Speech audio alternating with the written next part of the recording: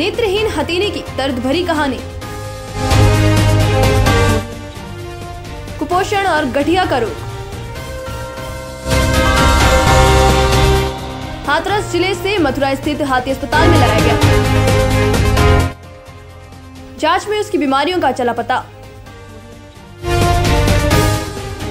वजह मालिकों की लापरवाही और गंभीर कुपोषण के कारण।